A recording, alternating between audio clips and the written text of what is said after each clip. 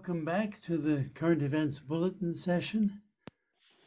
I'm David Eisenbud, and I'm the, I guess, the chair of the session. A couple of announcements before we begin. First of all, this session is generously supported by a donation from Salilesh Mukhopadhyay in honor of Satyendra Nath Bose and Mahadev Dutta and Pranab Sarkar to bring appreciation for mathematics to a broader audience. Our speaker, Elamin Elbasha, Dr. Elamin Elbasha, is a distinguished scientist at the Merck Corporation who works on health economics, disease modeling, and outcomes research. And he's going to talk to us about mathematics and the quest for vaccine induced herd immunity threshold. You can put questions in the chat if you have them, and we'll either take them in real time or wait till the end of the talk. There'll be a little time for questions at the end as well. So, Dr. Elbasha, please continue. Uh, can you hear me okay first before I go in? Perfect, yes. Okay. well. Let me see if I can uh, share my my screen here. And Not yet.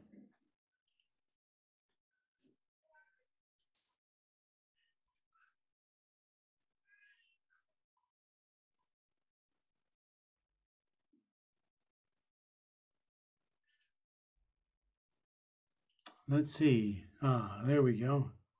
Good. okay, sorry about that. No problem. Take it away. Okay, uh, uh, first of all, uh, good afternoon, good evening, good morning, wherever you are. As David mentioned, my name is Elamin Elbasha. I am from Merck, USA. Thank you for joining this talk. I will be talking about mathematics and the quest for vaccine-induced herd immunity threshold. Uh, before I get going with the talk, I would like to thank the organizers for giving me this opportunity to be with you here today. Uh, especially, I would like to thank Dr. David Eisenbud, uh, Director for Mathematical Science Research Institute and Professor of Mathematics at uh, University of California, Berkeley. Thank you so much for this opportunity. I would also like to acknowledge the support, contribution, and uh, collaboration of my, uh, my friend, uh, Dr. Abba Gumel. He's a foundation professor at Arizona State University, professor of mathematics. Uh, thank you, Abba, for all the support you have. I want to mention your face before I get going because I might not get enough time to thank you at the end. Uh, here is the brief introduction of what I'm going to talk about.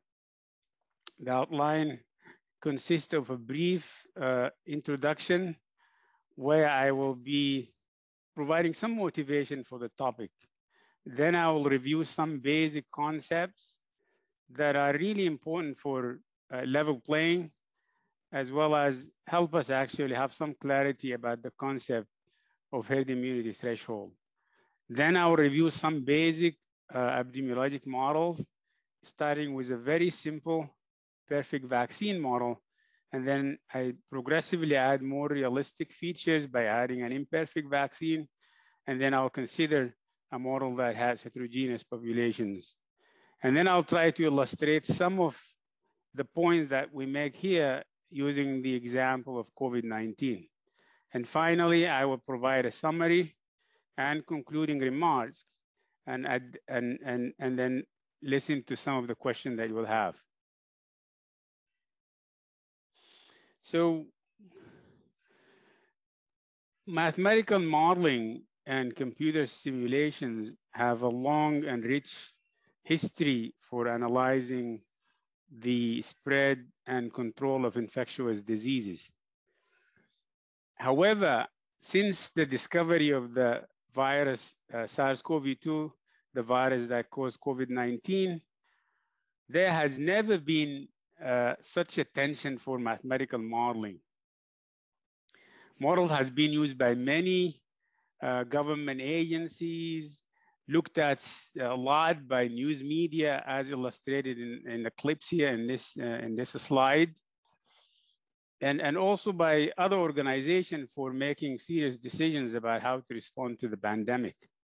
The, the, the slide on the left here suggests that the CDC, the Center for Disease Control and Prevention, uses mathematical modeling to analyze and respond to the intervention by designing mathematical models and using the results of those models. Um, most importantly, actually, these models have been very, very critical in shaping the early response to the, the pandemic, as illustrated by some of these news clips. If you look at the one at the bottom of the slide, this uh, title from the Washington Post on March 17, 2020, talks about uh, an important scientific paper that actually shaped the policy response to the pandemic in the US and the United Kingdom. This slide highlights the result of one of the most influential model that has been used early on in response to the pandemic. Uh, it was developed at Imperial College London by a group of researchers led by Neil Ferguson, as shown here at the bottom of the, the slide. The graph on the right shows one of the scenarios for the United Kingdom and uh, for Great Britain and the United States, where if nothing is being done, there would be about half a million deaths in the UK, in, in Great Britain, and about 2.2 million uh, deaths in the US. Many think that these worst case scenario analyses were very instrumental in shaping the policy response in the US, UK, France, Germany, and other countries. The, the figure on the left shows the critical care beds that are needed as a function of various uh, responses to the pandemic. If nothing is being done, as shown by the black curve here, uh, our healthcare system will be overwhelmed, will not be able to have enough critical bed to meet that demand. And, and a less serious intervention is done like that is very disruptive in terms of uh, locking people down, social distancing, our healthcare system will be overwhelmed. Luckily, uh, the policymakers have heeded this advice and various uh, non-pharmaceutical interventions were implemented. And, and we're also very fortunate we're able to, to develop quickly uh, very effective vaccines and to deploy them. As a result of all of this, uh, I think millions of lives have been saved. But still, there are some lingering questions that, that requires answer. And, and some of them are listed here in this slide. For example, what is the herd immunity threshold to achieve disease elimination in a local setting or for the pandemic to end globally? And how is this herd immunity threshold determined? And what factors influence the hit values? What will the pandemic ever end? How can the pandemic end? And when will the pandemic end? My talk will be focused a lot on the first uh, three questions. Uh, if we have time and energy, we'll try to address the, the last three questions. So I would like to introduce some basic concepts so that it would help us actually as we present some of the materials. The first thing is to define what we mean by herd immunity. Herd immunity is defined as a situation where enough people have acquired disease or vaccine-induced immunity to indirectly protect others who are susceptible. Herd immunity, if a threshold is defined as the minimum fraction of the susceptible population that needs to be immunized through vaccination or natural infection to achieve disease elimination in a local setting. And I would like to also introduce a very uh, important uh, concept called the basic reproduction number, and I'll be talking more about it. It's called R naught, that's the way it's being pronounced, It's defined as the number of secondary cases that one individual, infected individual can produce if introduced into a completely susceptible population. This is the most talked about actually number since the since the, the beginning of the pandemic. It is being talked about by policymakers, by scientists, and by the news media. There are another two concepts that are related to it. It's called the vaccinated reproduction number. Is defined in a similar way, but in this case, it takes into account the fact that the population is not completely susceptible. A fraction of it is being immunized through vaccination. And then the last concept is the effective reproduction number, uh, abbreviated as RT or RE, is defined similarly. The difference between this one is that it takes into account time and also the population consists of both naive as well as exposed and immune individuals. So I will be talking a lot about the basic reproduction number R naught and the vaccinated reproduction number RV and why they're important for the concept of herd immunity threshold. But I would like to briefly touch on the effective reproduction number, mainly because, because it changed over time. Uh, it is very important for understanding uh, the severity of the pandemic and how successful are the public health measures that have been implemented. If, if RT is significantly greater than one, we know that the pandemic is taking over up exponentially. But if it is less than one, then we know that cases are declining. Infection is happening, but cases are declining. The figure on the right actually is an example of how RT was estimated early on from the outbreak uh, in Wuhan, China early on, RT was significantly greater than one. But after the lockdown of January 23rd, cases dropped significantly. And by February 2nd or so, the, the, the cases started to, Uh, the RT is becoming less than one and cases started in, in Wuhan, China. So I will move on to talk about some basic epidemiologic models I will also try to give a very, very brief and selective history of these basic epidemiologic models. I wanted to highlight that Ronald Ross in 1911 was pioneer actually in terms of thinking of epidemic thresholds. Uh, in, in his study of the uh, malaria transmission through mosquitoes, Ronald Ross proposed the, his mosquito theorem to challenge the prevailing wisdom at the time that says that if you wanted to stop malaria transmission, you need to eradicate mosquitoes. He was able to show that is not necessary. All you need to do is to reduce the density of the mosquitoes below a given threshold to be able to stop malaria transmission. Uh, an, an important milestone happened around 1927 when Kermack and McKendrick uh, published their famous epidemic threshold, where they showed that for an outbreak to occur, the population density of susceptible person must exceed a critical value. Uh, it took several decades before other mathematicians were able to translate that critical threshold condition using the powerful mathematical concept that we defined earlier, the basic reproduction number R naught.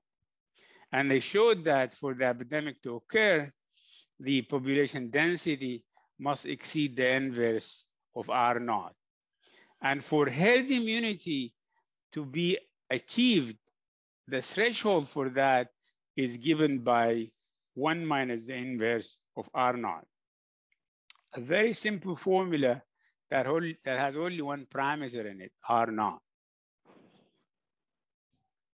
And because uh, the basic reproduction number can readily be estimated from data. There has been several applications of this concept for several diseases and vaccines. This slide shows some of those diseases. For example, for Ebola, because the basic reproduction number is low, you don't have to vaccinate a lot of people to achieve herd immunity. The threshold is, is close to 30%. But for highly infectious disease like measles, the, the vaccination, the, the, the herd immunity threshold is really higher than close to 95%. Um, I also show in this slide um, the threshold for SARS-CoV-2 given the early estimates at the beginning of the pandemic before the new variants of concern emerged. It's around 60%. And we'll be talking more about COVID-19 later on. So try to provide some framework for how this has been derived by introducing the very simple compartmental model called the SIR. It's called SIR because it, it divides the population into compartments, the susceptible, infectious, and the recovered. And I included a perfect vaccine here, perfect in the sense that it provides 100% protection that lasts the lifetime of the individual. And, and, and, and the model here assumed that the population is homogeneously mixing. And so uh, the model uh, states that newborns are born susceptible, but a fraction of them can be uh, vaccinated and, remove, and, and, and move into the removed category. Those who are susceptible can get infected at this rate and become infectious, but after a period, they can recover and join the recover class. This simple model actually is, is really powerful. It's the, whole, the workhorse of mathematical epidemiology, and you can derive many insights based on this model. The, the next slide will outline the ordinary differential. This is a deterministic system of ODEs. It is given here three, three, um, three equations. The last equations actually can be ignored for now, but the two first equations are really important. The definition of the state variables as well as the important parameters is given here also in this slide.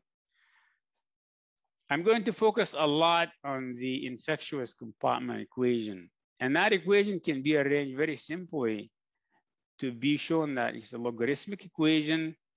The solution of it is, is, is an exponential function.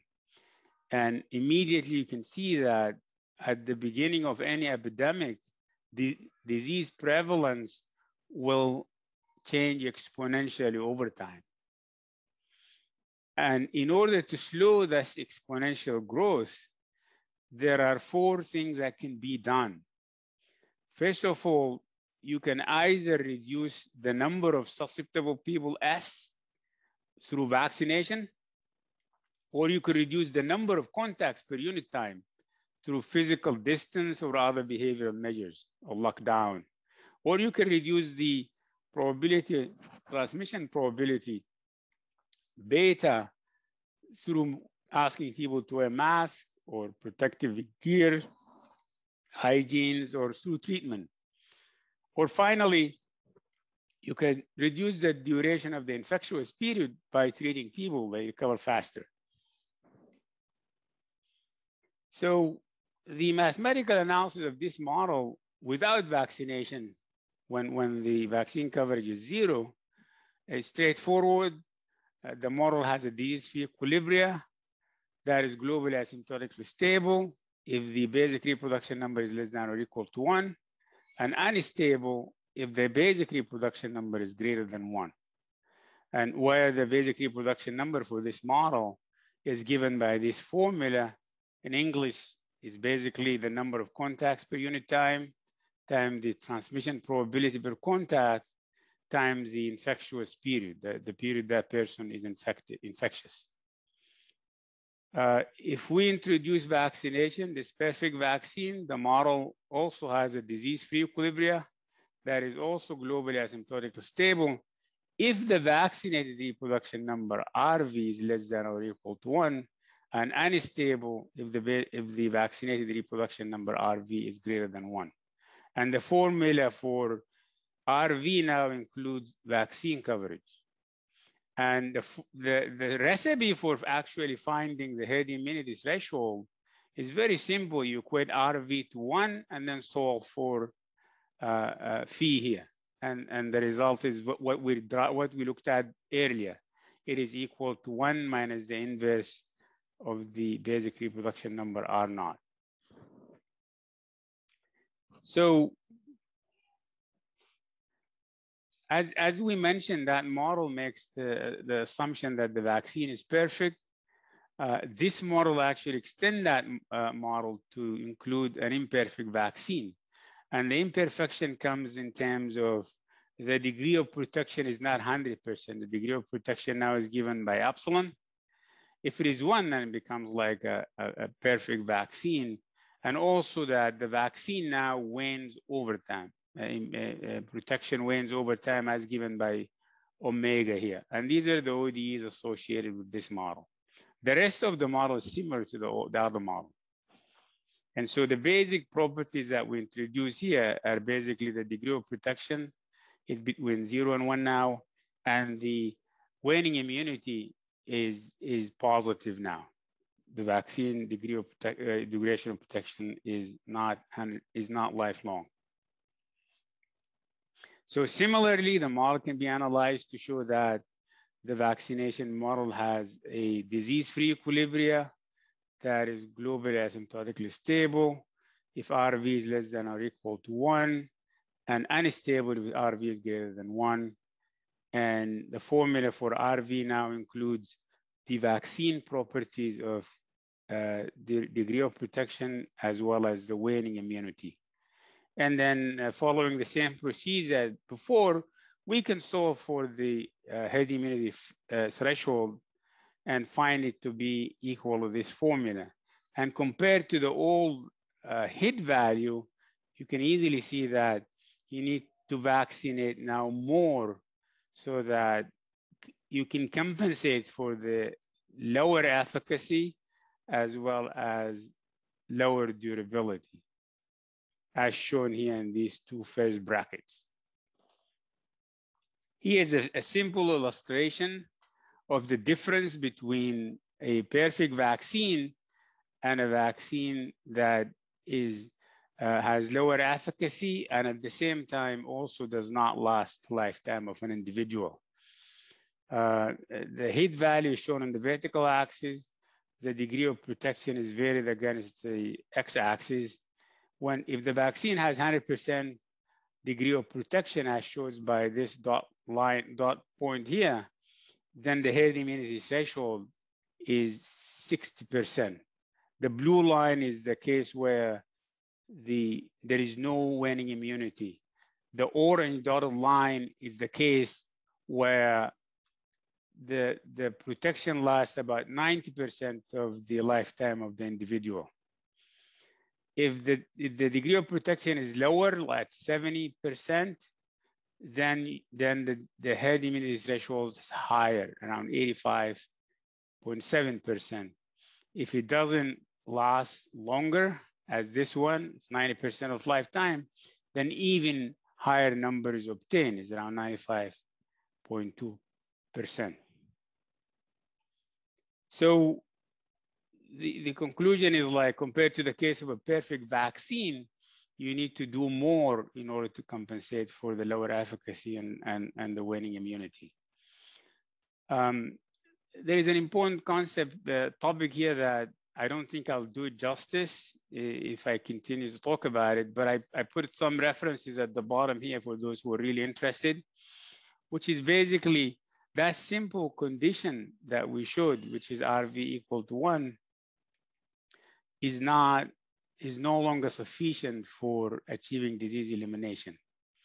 And, and most of the models we have reviewed so far uh, has what we call uh, forward bifurcation. You have a, a, a disease-free equilibrium that is stable, less than for RV less than one, and then you have an endemic equilibrium that is stable when RV is strictly greater than one.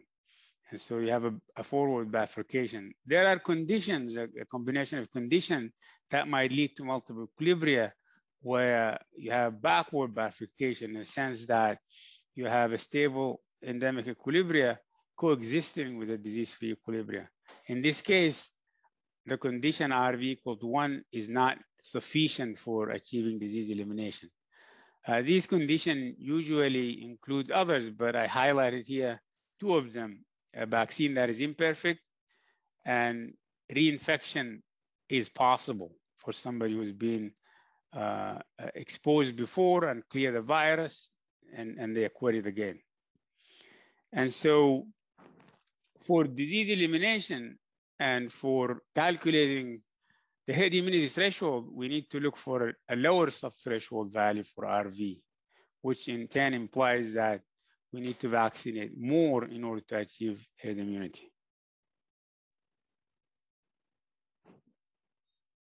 So um, the, the assumption that we've been making so far in all of these models is that the mixing among the population is homogeneous. And, and, and this is really a strong and unrealistic assumption. There are so many relevant heterogeneities that affect transmission of, uh, of diseases, infectious diseases. For example, age is an important risk factor for mobility, for transmission, for susceptibility to infection, and even response to disease. There are other factors also like social factors like poverty, crowding, demographic factors like differences in gender, geographic factors, uh, transmission va vary by geography, and so on.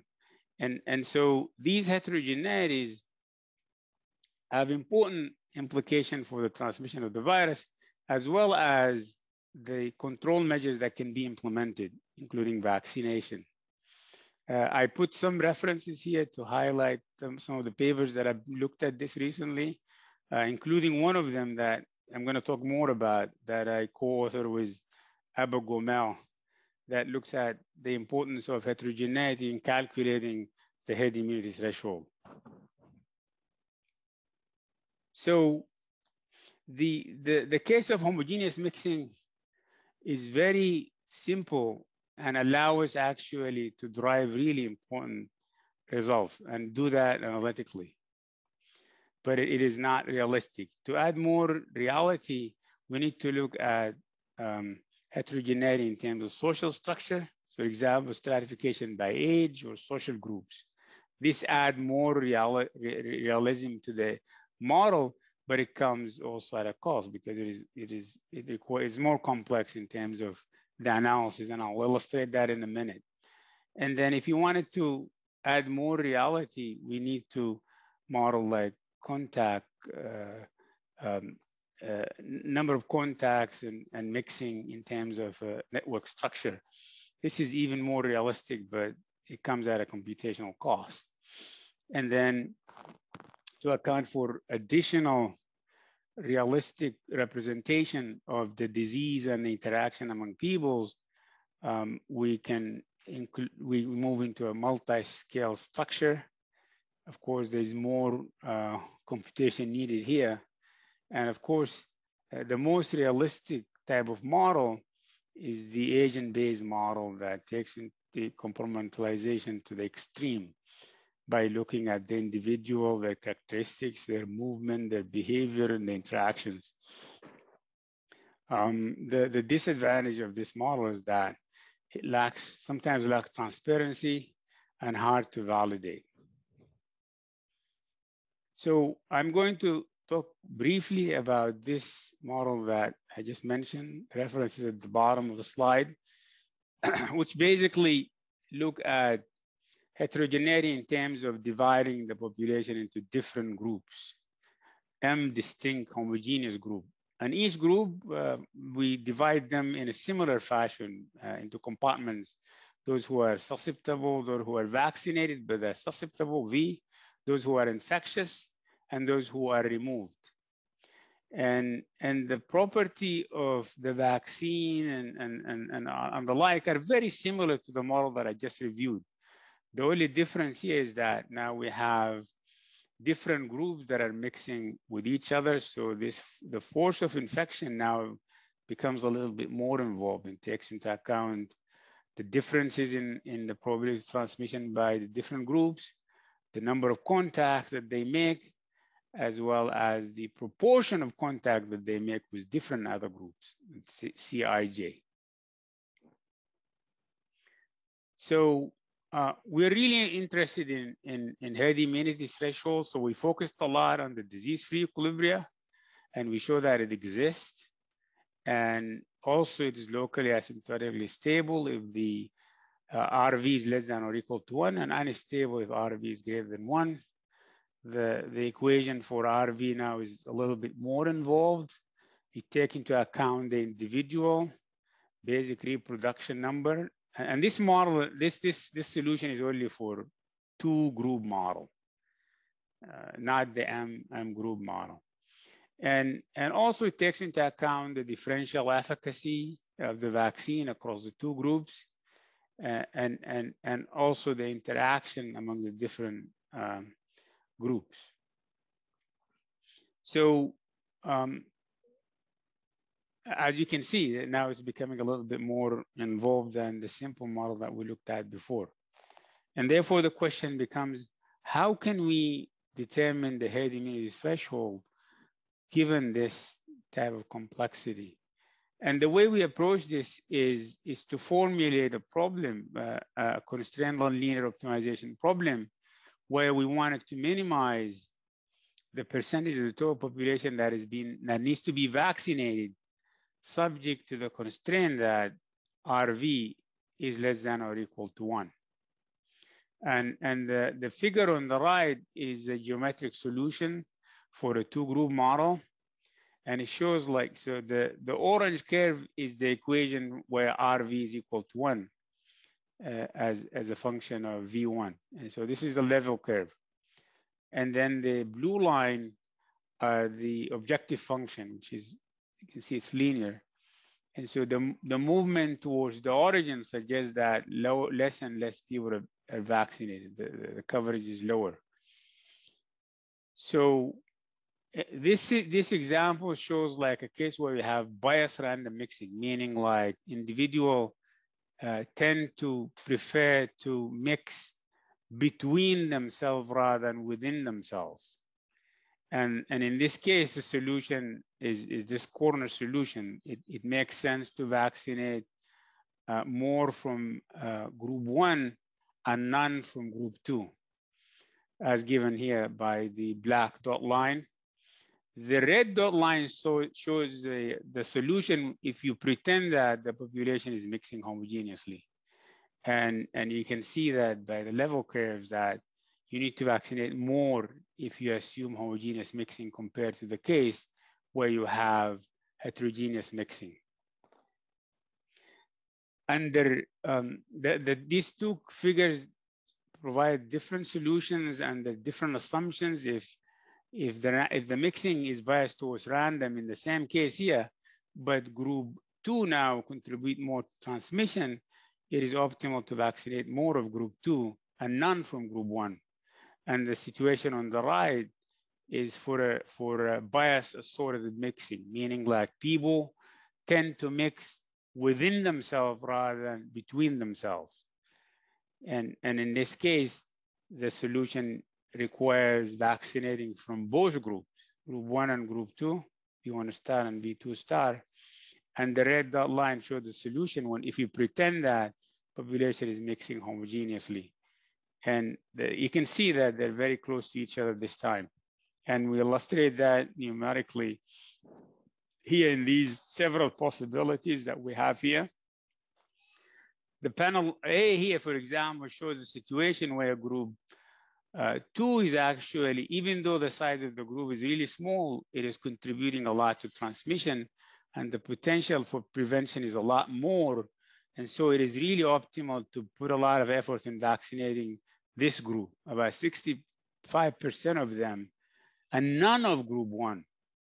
And, and the overall results suggest that the overall population, the, the, the coverage that is needed is only 17% compared to the case if you vaccinate equally, you need to vaccinate 95% of these people.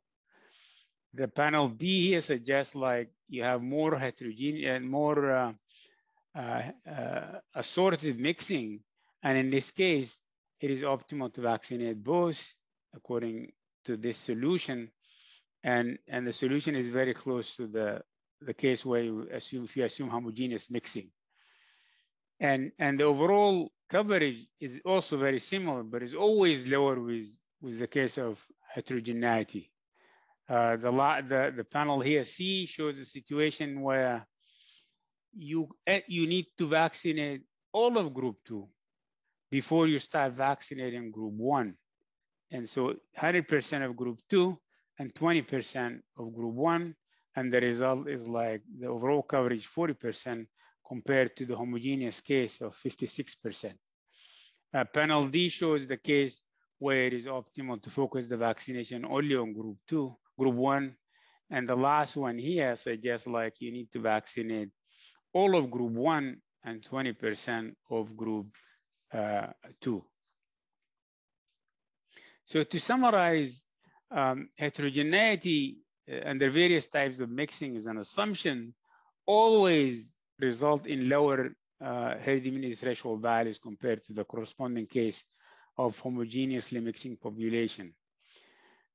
Uh, but driving that hit is really more involved. Uh, I call it complex here, com corresponding to the simpler model that we looked at. Uh, there, might, there may be no hit value in a heterogeneous multi-population, no single one. You can vaccinate one group, both group, or, or, or the other group. And, and, and the value itself is determined by a lot of factors, including the epidemiology among the different groups themselves, uh, the vaccine efficacy of each group, as well as the relative population size itself for each group, how big they are.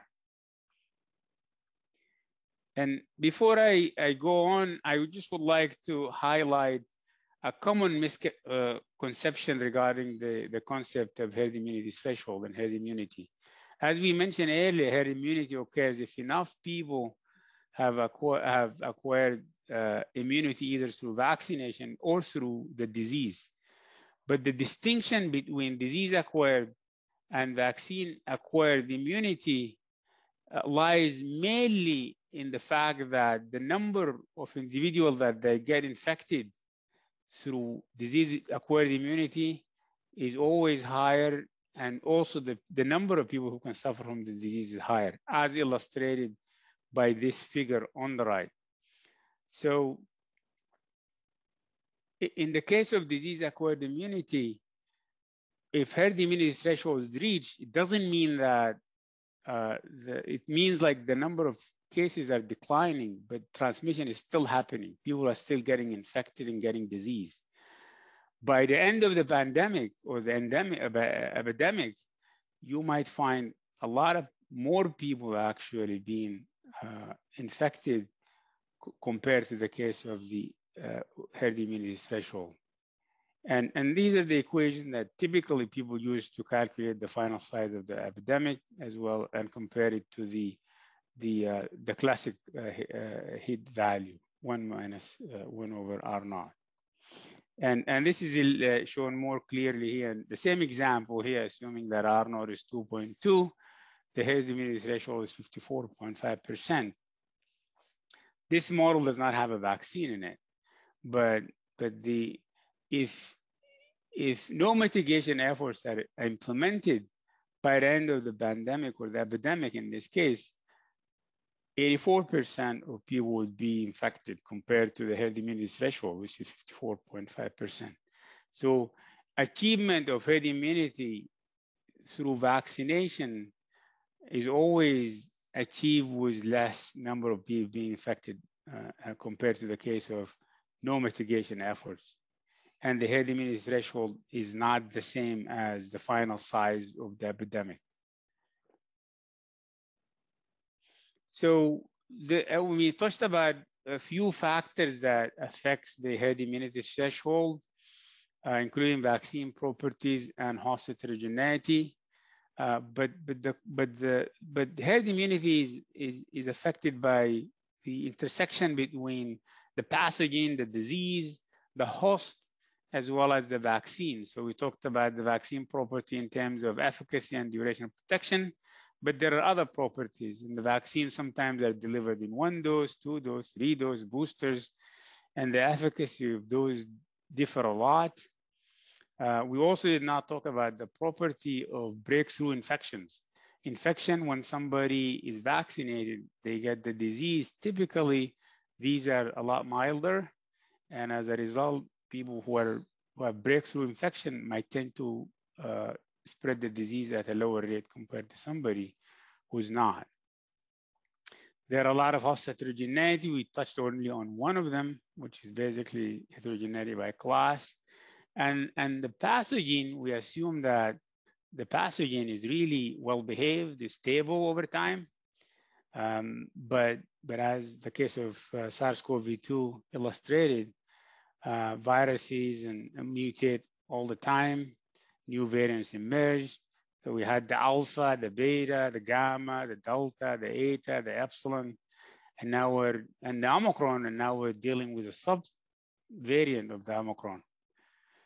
And of course, there are also other aspects, some, some viruses and, and bacteria, they, they have multiple types and they have different strains. So uh, moving on, i would like to touch upon uh, the, the, the case of COVID-19 and see if we can actually talk a little bit about that and what is and, com and compare, I mean, what is the health threshold for, for, for SARS-CoV-2? And, and quickly, I know that pandemic touched everybody. Everybody knows about this. So there's huge disease burden. The figure on the right actually is up to date, up to yesterday, actually. It shows like in the US, about 80 million people have been um, reportedly infected and uh, 982,000 uh, people died uh, from COVID-19. We have experienced several interventions. We have really good vaccines. And also we have drugs now to treat uh, SARS-CoV-2. The typical model structure that people use to analyze uh, SARS-CoV-2 are what called the SVEIR model. You have a vaccinated, and there is an, another compartment called the exposed compartment included there. And there are an important component called the asymptomatic uh, people who are actually transmitting the, the virus without them knowing that they're infected. So the first question that would be asked, I mean, we, we showed that the formula include a very important ingredient, the basic reproduction number R naught. The question is, what is the R naught for SARS-CoV-2? It is very difficult to estimate from data. Uh, most of the estimate that you see in the literature are coming from mathematical models. Initial estimates coming from Wuhan outbreak and the, the Diamond Princess cruise ship put it around 2.2.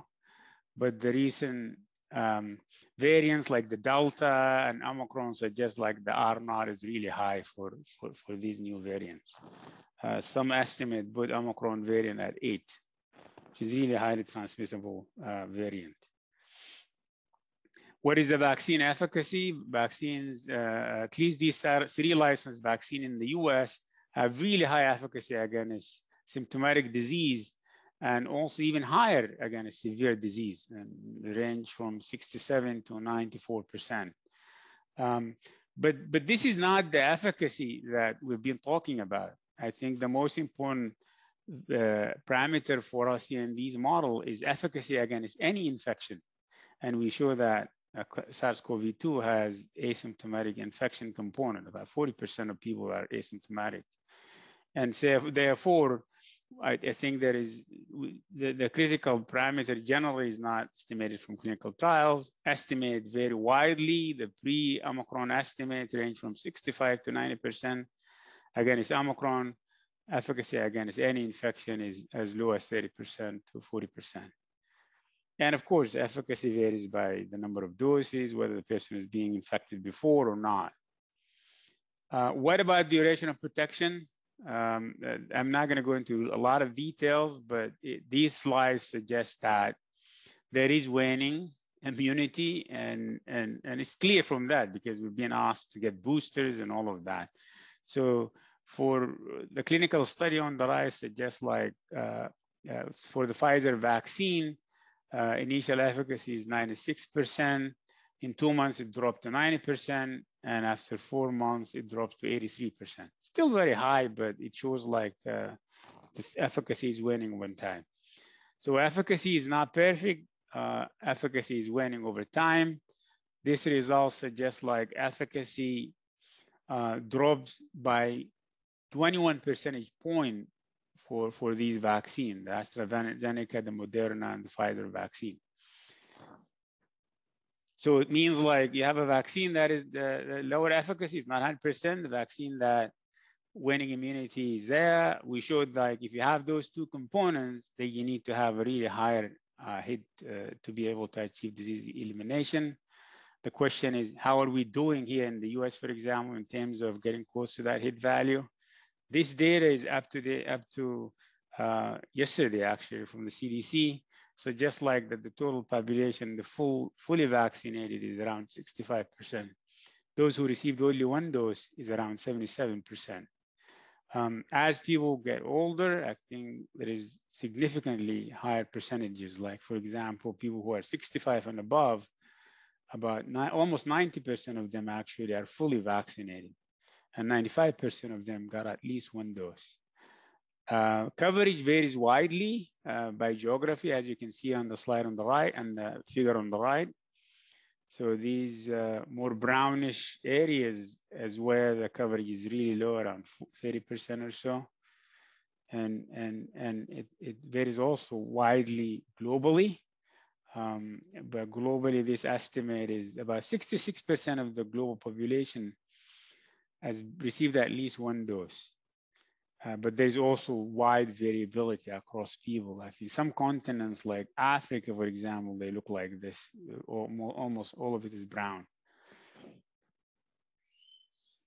So again, to summarize the COVID situation, we have vaccines that are really great against disease, but lower efficacy against infection. It is not 100% efficacious. Waning immunity is there. It's a big concern. Therefore, we need to vaccinate a lot of people in order to achieve herd immunity. Uh, here are some topics for future research. Um, if somebody is really interested in the possibility of disease elimination, we need to understand the role of these vaccine properties, specifically taking into account these new variants and waning immunity and the different types of immunity. We have immunity against infection. Now we have hybrid immunity. People who got infected, they get vaccinated. And then we have people who got vaccinated from the beginning and their immunity wanes and they get boosters. And we also need to understand the, the role of uh, population heterogeneity. And if, you, if, if the interest is in studying how to manage uh, endemic situations, we need to figure out how to optimally allocate vaccines over time by population. We also need to how to deploy uh, a mixture of these interventions like vaccine, mask, when to implement physical distances and all of that. And we can, uh, uh, we can actually employ like optimal control theory to answer some of these questions. So to summarize, um, I just wanted to mention that there has been a long and rich history actually of using mathematical models to study the spread and control of infectious disease. It goes back to even Daniel Bernoulli um, in 1760. Uh, for COVID-19, mathematical modeling has been very, very critical in shaping the early response to the pandemic. Uh, they may exist uh, hit immunity threshold to achieve disease elimination. The widely circulated and talked about classic formula is very simple. It is determined by a single parameter R naught, but that formula needs to be adjusted upward to reflect the imperfect vaccine uh, properties, as well as downward if you wanted to take into account more heterogeneity. Um, the, the heterogeneity tends to lower the herd immunity threshold. Uh, there may be a different herd immunity threshold when you take into account heterogeneity depending on, on all these factors, the relative epidemiology of the different groups, as well as their sizes. Uh, the major driver for achieving herd immunity uh, threshold for COVID-19 is initially we thought it has a really relatively low basic reproduction number, but the, the recent variants suggest otherwise. Um, what is also encouraging is that the, we have really highly effective vaccines and we have really high coverage in some geographic areas. The major challenges for achieving COVID-19 vaccine-derived uh, immunity uh, threshold is the fact that the virus is changing now over time and, and, and getting more and more variants. Uh, there's also a problem with achieving higher and higher coverage in terms of vaccine hesitancy, compliance, and, and, and the most important thing is also the vaccine properties of waning immunity is also a serious concern. And, and most importantly, also the new, these new variants that are coming up. So I'll, thank you. I'll stop here and I, I hopefully we'll have some time, uh, Dr. Eisenbud, for questions. Yes, for discussion. Very interesting talk indeed, and certainly touches all our basic fears and hopes for the future very directly. Uh, I haven't seen uh, particular questions in the chat, but um, one thing that I'm very curious about is how the vaccine immunity compares with the prior infection immunity. And if one combined those two, would the map of the United States look greener than it does? I have the sense that many people have been infected and that that might might contribute. Yeah, thank you for that question. I think um, I've shown one of the graphs there, but I'm not going to go back to it. But generally, I think, as you said, it's a combination of of uh, immunity achieved through recovery from infection and immunity uh, coming from vaccination. Unfortunately, both of them, they're not perfect in the sense like not sterilizing, not 100%, and, and, and also it wanes over time. Both of them actually naturally acquired immunity through infection wanes pretty quickly too.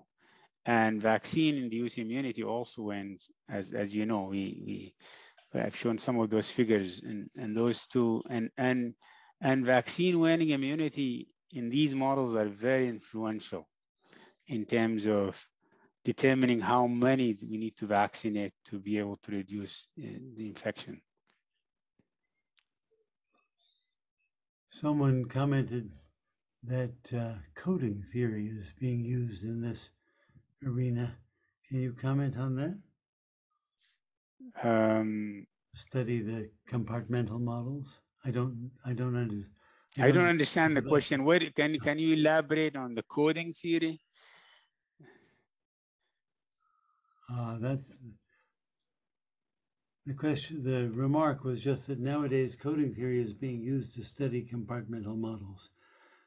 Hamel codes are being used, is the uh, comment. Okay. Yeah. So I think one of the fascinating features of the response to this pandemic is that people from various disciplines, including mathematics, have got really interested and and and and produced really interesting work. Actually, you find like so many applications from various groups um, and background actually trying to um, address some of the questions um, um, emerging from the pandemic. And but but this particular question, I'm sorry, I I, I don't know how to answer that question. So because I don't understand what the specific use of the coding theory to study compartmental models. Do you see a, a, problem that mathematicians could address that hasn't been already addressed? As you say, people have been working on this for good reason. Yes, yes, absolutely. And I tried to highlight some of that actually. I mean, there's a long history and, and simple formulas have been circulating and they're still being widely used, but mm. they have they've been derived under very strong assumptions. I tried to highlight a few of those.